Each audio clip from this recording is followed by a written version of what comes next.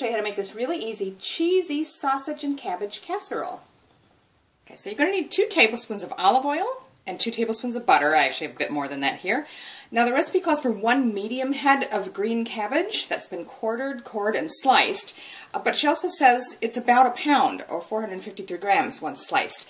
Uh, so my store actually doesn't sell whole cabbage, uh, and they certainly don't have any medium-sized ones what they do is they take the largest ones and quarter them and sell them that way. So this is a quarter of a large one. Uh, or you can also buy half of a small one. This one actually weighs probably about 600 grams, so it's actually more than a pound anyway. Okay, then you're going to need one yellow capsicum that we're going to chop, one cup of chopped onions, so I've just got a pretty large one here, four cloves of minced garlic, and I'm just using stuff that's already minced, sea salt and black pepper to taste, one can of diced tomatoes, and then it says a cup and a half of crushed tomatoes, which is probably pretty close to that whole can anyway.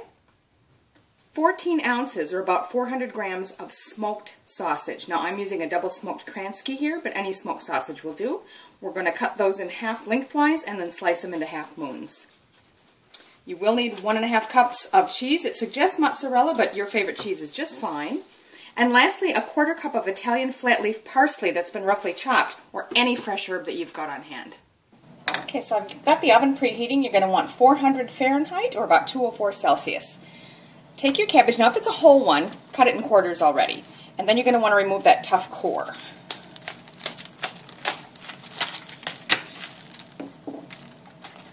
From there, I'm just going to slice it. So I'm going to go once or twice this way and then just go against the grain that way and just chop it all up.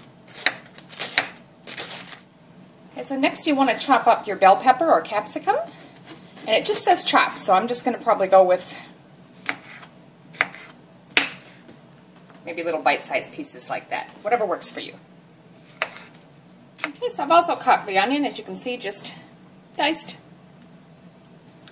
So we'll mix that in now. I've got all my veggies together in this bowl. So I've got a large skillet and it's preheated over medium heat. To that we're going to add your olive oil. That was two tablespoons. Just, there we go. And your two tablespoons of butter. And we want to let that melt. Okay, so the butter's all melted into the oil. So now I'm going to add the four cloves of garlic.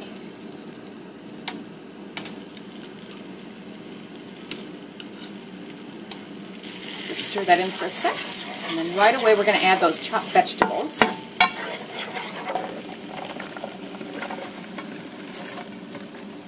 So that looks pretty full, but it will cook down. Now we're also going to add the salt and pepper to taste.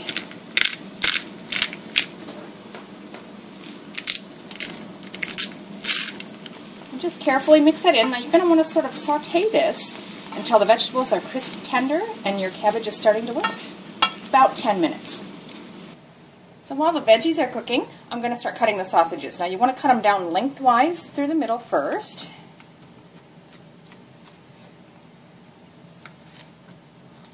And then we're just going to slice it into half moons. So do that with all of them. Okay, so that's been 10 minutes, and I did sample the bell pepper or capsicum there, and it is crisp tender, and as you can see, my cabbage is wilted down a bit nicely. So now we're going to add the diced tomatoes, and one and a half cups of crushed tomatoes, which did end up being the whole can for me. Your can sizes may vary though. We'll also add in the smoked sausage at this time, and just carefully stir that in, and we're going to let it cook for another 10 minutes. Okay, so that's been 10 minutes and it's bubbling away. I'm going to remove that from heat. Okay, so now we're just going to transfer that mixture to a large casserole dish. Just use um, your spatula or whatever you've got to spread it out and try and level the top. Now you want to sprinkle the cheese over the top. Now we're just going to pop that in our preheated oven for 15 minutes. That's been 15 minutes. Just be very careful, it's very bubbly. You can see it's nicely golden brown. Now you can see it's quite bubbly. We're going to leave it sit a few minutes before we serve, but the last step is to sprinkle on the chopped parsley or whatever herb you've decided to use. I actually had some fresh basil on hand, so that's what I'm using. So there it is, cheesy sausage and cabbage casserole. Quick and easy, and I hope you enjoy it.